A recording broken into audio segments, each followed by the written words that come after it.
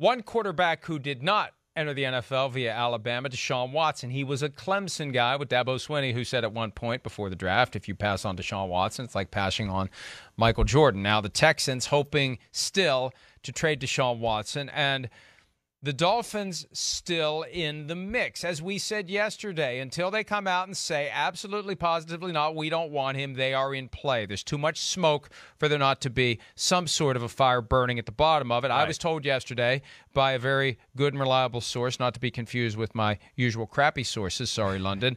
Stephen Ross, the owner of the team, really wants Deshaun Watson. And there was a curious pushback by the Dolphins to local reporters. Our friend Barry Jackson of the Miami Herald tweeted The Dolphins are pushing back on my report that Steve Ross really wants Deshaun Watson. The Dolphins just now told local reporters that Ross, quote, does not force football decisions, end quote, and, quote, believes in Tua, end quote. Says Jackson, I believe that to be true, but it doesn't make Florio's report wrong either. And look, there is a donut hole there.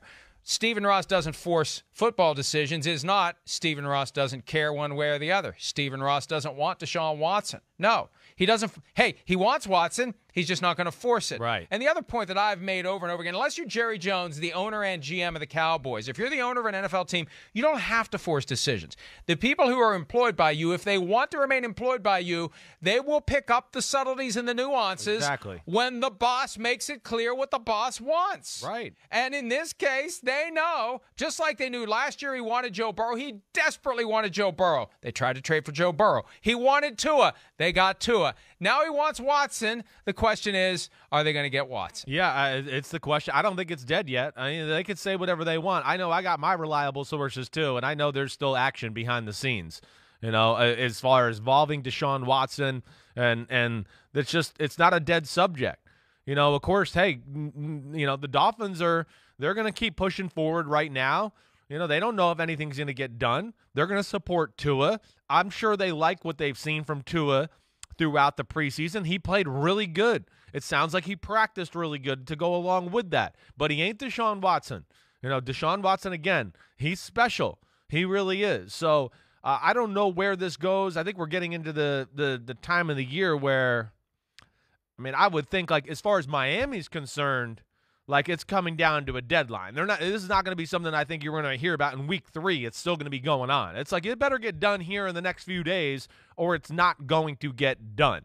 But I, I, I know for sure that Houston is you know taking calls and, and talking to some teams for sure. Here's the thing. Yeah. And and this is the only thing that causes me to say wait, it's not about getting Watson on board and getting Watson up to speed and having Watson help the Dolphins this year. Because I do think that Stephen Ross, who did not become a multi billionaire because he's dumb, right. I think he's self aware as it relates to the fate of his football team. He was very self aware a couple of years ago when early in the year it felt like they were tanking. He understood you got to take your lumps sometime in order to get better with Deshaun Watson, this is not about propping the team up in a season where there are nine other extremely viable contenders and the game of musical chairs only has seven available seats. This is not going to be a year that the Dolphins are likely to climb to the top of the AFC if they even get to the playoffs. So if you can get Watson now, if you can get him for less than the mega package of picks that will be coming next year when you have seven, eight, nine teams jockeying for him, and the Texans are in a position to maybe get more if they get lucky as it relates to the very serious off field questions that are pending against Deshaun Watson as it relates to civil complaints for sexual misconduct, criminal complaints for sexual misconduct.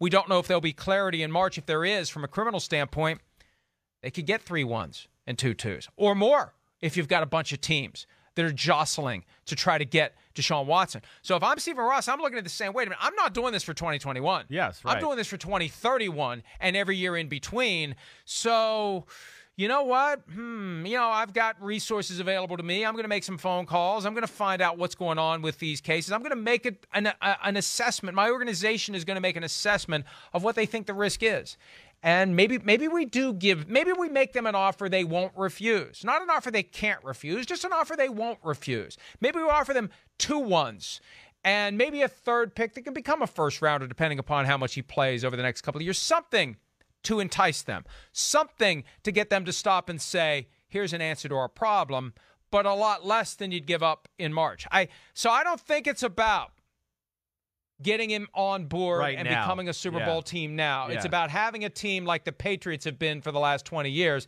at least before Brady left, where you're a, high level contender every single year, not necessarily this year, if that makes any sense at all. No, no, it does. I think it's a valid point, and and I mean it, it makes a lot of sense. Uh, Yes, it's the bigger picture. You're, I mean, you're right. I mean, I do view the Dolphins as a playoff caliber football team. I do right now, but Super Bowl team, of course, no. And you get Deshaun Watson, you know, and we got a lot of young players and things going all in the right direction in Miami. Where yeah, you get Watson there you know, uh, okay, yeah, maybe uh, you know things don't go the way you want this year, but you're a legit Super Bowl contender, like you're saying, for the next four or five years. And hey, they got a lot of young talent.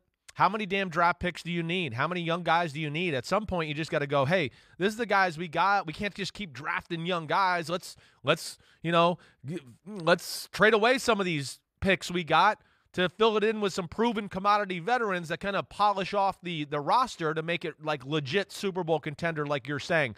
I would think that's part of their thought process too. Um, I don't know. I know next. Can you imagine? Can you imagine Right. if if the Dolphins were the Rams right now with all those picks? The Ra- the Ram and the Rams really wanted Deshaun Watson. They would give it up. They everything. Give it all. Give him the mascot. Give him everything to get Deshaun Watson. It just shows you how different the teams are. That the Dolphins value stockpiling the picks. Yeah, at some point. You got to use the. gotta- every one of those picks is a lottery ticket. Yeah. If you only- can trade him in for a sure thing, you do it. Yeah, that, that's right. I mean, you, you just you, you you can't always be like, oh, we're gonna you know mold young talent, mold young talent. At some point, you just gotta go. This is the talent we got. We need a few pieces here to to make some splash or you know really take the roster over the top, and let's do that. And I know, like next year, they don't have multiple first round picks next year, right? They have just the one one. They have multiple next year. Do they have two? do have they have two first round picks next year. Because I thought maybe they traded away one from to Philadelphia when they moved back up after the San Francisco trading down. That's where I wasn't sure. Um, I think I'm right, but um, what I was going to ask about was the year after that. Maybe they had one. I, I can't remember exactly, and maybe I should have came to the segment knowing those type of things. They do only have one next year. That's what I thought. Okay, you know, see, I have that brain sometimes. But But but But- they have two in 2020. That's where it is. It's two and twenty. I, all right, that's where I was getting to. So you got some stuff to play with there. And how many years are we going to just continue to build the roster?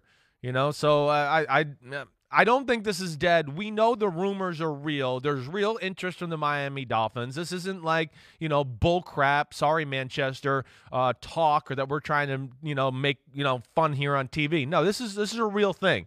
And I do think there's some teams interested, of course, in, in Deshaun Watson, for real interested. And I still think conversations are going on behind the scenes. I know they are. Hi, I'm Mike Tirico, and thanks for watching.